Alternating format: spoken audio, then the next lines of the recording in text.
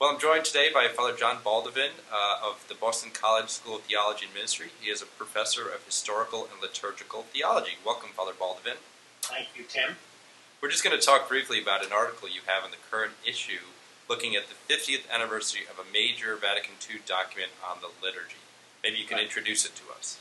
Sure. Um, Vatican II's Constitution on the Sacred Liturgy, it's called Sacrosanctum Concilium. You know, all Vatican documents are known by the first couple of words uh, in Latin in their uh, in the document itself. So this uh, this sacred council, and then it goes on. Um, it's a document that was a couple of years in the making uh, by the uh, by a commission, one of the many commissions that they set up prior to Vatican II. Um, so literally a couple of years in the making, but really um, it's it's the product of well over a century, maybe you could even say 120, 130 years of, of, of what we call the liturgical movement that started in France in the mid 19th century and then uh, got another jump start with Pope Pius X at the beginning of the 20th, and then especially uh, in Belgium uh, with a couple of major figures in the uh, beginning of the 20th. And then it really uh, took on speed, and uh, Pius XII had a major encyclical on the liturgy, the first one really on the liturgy, Mediator Dei, in 1947 and he set up a commission that started some liturgical reforms. So the reforms that um, are encased in Sacrosanctum Concilium are really um, reforms that were started in a way in the 1950s. I mean, a lot of Catholics may remember, probably most don't at this point, uh, the time when we didn't have uh, when we didn't have when we had uh, fasting uh, from uh, midnight until whenever you went to mass. Uh, that was all relaxed. The time when no masses were allowed on Sundays after 12 noon, that was relaxed.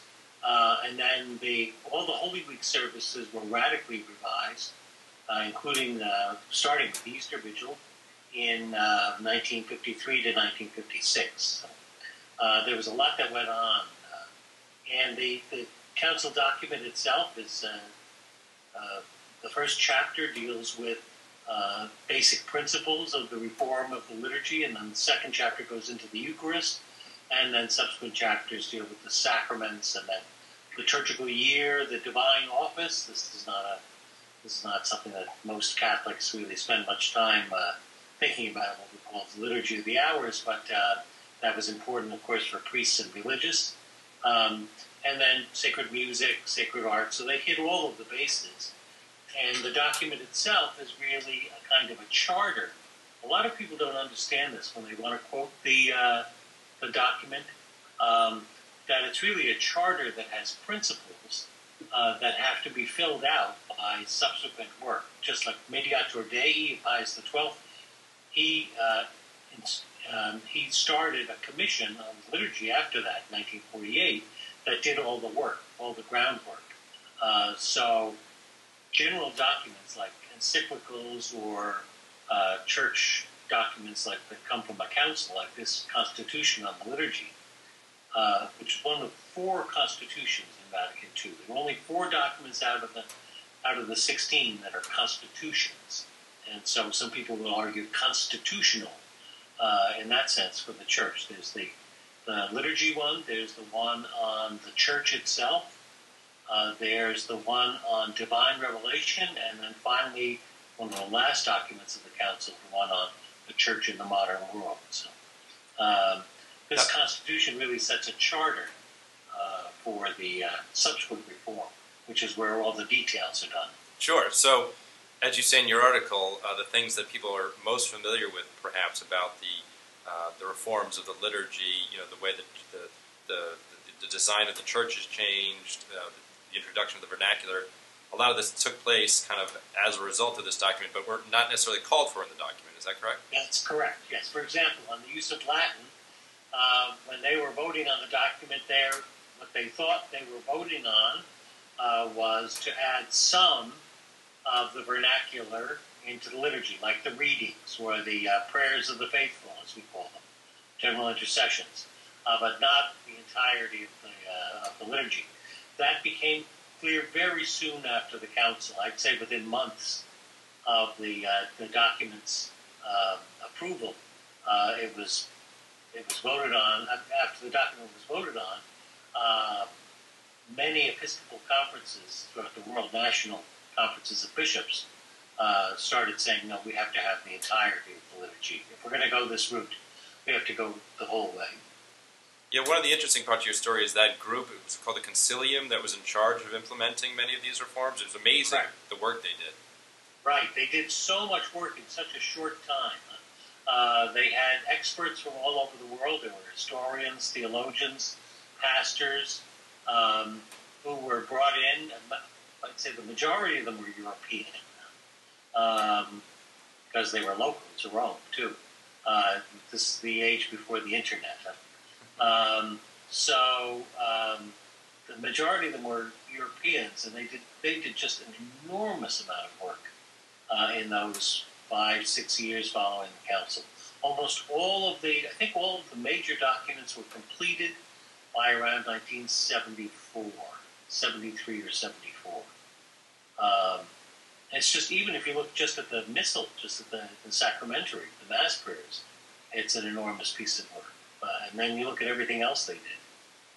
Uh, they redid the rite of infant baptism. The church had no rite of specific rite of baptism for children until 1968. That's a remarkable uh, fact.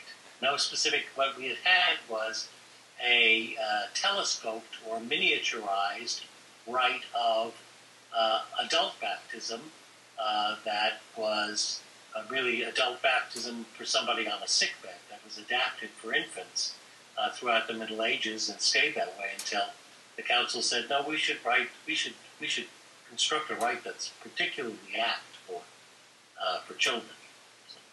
Now we're talking 50 years after this document, and which is still pretty early when you think of church history. Uh, but there has, you put in your article, there have been some bumps in the road. Some people have taken exception to some of the translations, to some of the perhaps the architecture that resulted as a result of these changes. Maybe you can run through some of that for us. Yeah, um, yeah. There's been quite a lot of pushback, as they say, on the uh, on the Constitution. It really started uh, almost as soon as the council was over, even before the council was over. Um, it's, there's a very interesting, the, the, story is told by Archbishop Piero Marini in uh, his book, uh, a, uh, what's it called now? Um, a, a, something reform. Um, we'll post it for folks. Yeah. Huh? Pardon? We'll put it up online for folks. We'll find it. Right. Yes. Great. Good. Um, uh, he was the papal master of ceremonies under uh, uh, Pope John Paul II, and then for the first few months of uh, Benedict XVI. Uh, and um, he was uh, he was the secretary to the office of worship when a lot of this was being done. and um, he, um, in his book on the reform, he tells the story of how almost immediately you get a lot of pushback from very conservative, the traditionalists never really wanted to accept the council. I mean, they lost on a lot of things. Uh, you know, the majority quickly formed at the beginning of the council, and it was uh, there was a real struggle. So the, the, the story of the council and its aftermath is a really complex uh, story. So very soon after the council, there were a number of people who were unalterably opposed, first of all, to the Constitution itself, to the idea that there would be a major reform of the liturgy. Then, uh, even more people uh, became uh, were dissatisfied with the results of what the concilium did, the uh, the post uh, council uh, commission that produced the documents. so you got an enormous pushback, especially when the English Missal was was promulgated. you know, after 1969, you got a lot of uh, people uh, in the English-speaking world who felt uh, that uh, that the, the, liturgy should not be translated completely into the uh, vernacular.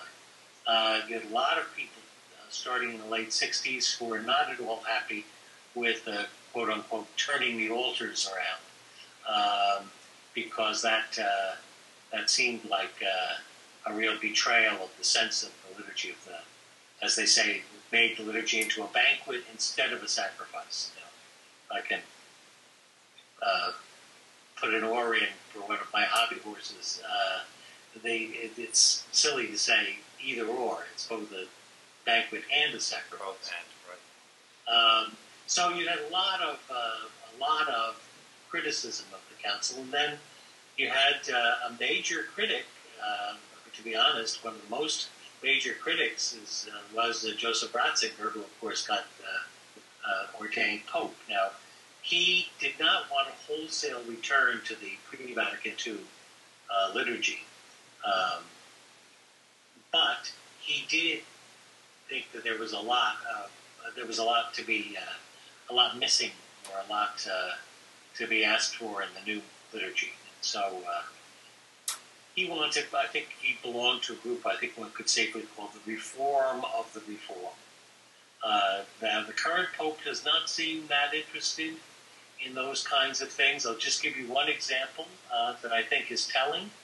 Um, on the day after he was elected, he had Mass with the Cardinals in the Sistine Chapel which does not have an altar, uh, freestanding altar that faces the people, uh, and uh, he insisted that one be brought in. Oh, that's very interesting. So that's a that's a that's a that's a kind of a token, I think, sure, uh, or an indication of his uh, his acceptance wholesale. I would say, a wholehearted acceptance of the uh, of the the Reformed liturgy as we have it from the Council. Now, I was very interested in your article about the, the argument about the theology that undergirds this document, and the case that's been made that this theology, you know, the priesthood of all the baptized, has, has not adequate was not adequately reflected in other documents in the council, and this is a pretty radical concept. Right, right. It is. It is in the other documents of the council, but it's not. There's a kind of, and we haven't worked. This is this is um, work in progress. It seems to me. Uh, so um, I like to say to my students, one of the most undeveloped aspects of theology right now in the church's theology of ministry, especially with all of the rapid changes that came after the council and with something that council never foresaw at all, what we call lay ecclesial ministry. It just wasn't on the radar. Um, so um, the theology of the priesthood, there's a there's a kind of uh, it did not develop in the way that a lot of the other theology of the council did. Council like bishops or collegiality. These were pressing questions.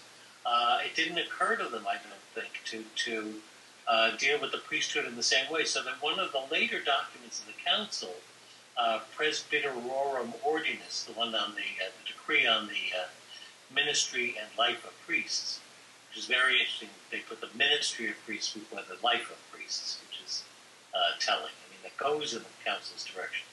We'll say things like uh, the, that the priesthood of the faithful, the common priesthood, and the baptismal priesthood, um, and the ministerial priesthood are essentially linked to one another, even though they differ essentially. Uh, now, they never develop exactly what that means because they weren't ready to. And I think we're still struggling with a lot of that and trying to understand um, how the priest really works together with the with the, the ordained priest with the, the, priesthood of the faithful, and I think that is, uh, as I say, it's a work in progress. We haven't. 50 years later, we haven't really achieved that in a widespread way. You find places, of course, uh, where it's quite clear. Uh, and they've had good leadership, good education, uh, but a lot of places it's still uh, the priest is doing one thing at the altar, and the people are responding, etc. But it's really not a. Uh, you wouldn't. An outside observer wouldn't call it an activity of the common priesthood. Uh, head and members together. Not that there aren't, of course, distinctions. I wouldn't want to be thought of as, you know, thinking that the, the distinctions between the ordained and and uh, other uh, of the faithful aren't important. But uh, it's a question of emphasis it seems to me. Do you want to emphasize that very strongly, or uh, do you want to downplay that uh, in favor of uh, in favor of the, the our liturgy is a communal activity in Christ? Uh, and I think that's a that's a debate that's uh, an attention, uh, a real tension that's in the church today. And I think we have to, to deal with it. Well, as we look to the 50th anniversary and, and your article in this issue, I think hopefully this conversation will continue. We found that people are very passionate about this subject, so hopefully this will spark an ongoing conversation. But I can't imagine that it will. we want to thank you for your contribution, and again, Father Baldovin from the Boston College School of Theology and Ministry. Thank you. Thank you, Tim.